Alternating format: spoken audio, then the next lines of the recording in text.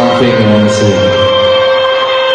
As many of you know, uh, my granddad passed away a couple of days ago, and uh, my family wanted to play this song at his funeral, so I'm very proud to say that this is the last song that my granddad heard listening.